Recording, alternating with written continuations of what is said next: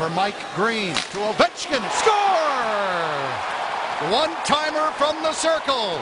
Ovechkin now has the lead when it comes to goals in the National Hockey League. It's amazing that he scores again from those type of angles. You know, we looked at that, the way he moves the puck in our pregame show, the way he tees it up, and that goes seven hole. It might have skimmed off the defenseman and snuck past the goaltender, but what a blast again. The power play comes together, and the Caps have tied it up here in the first.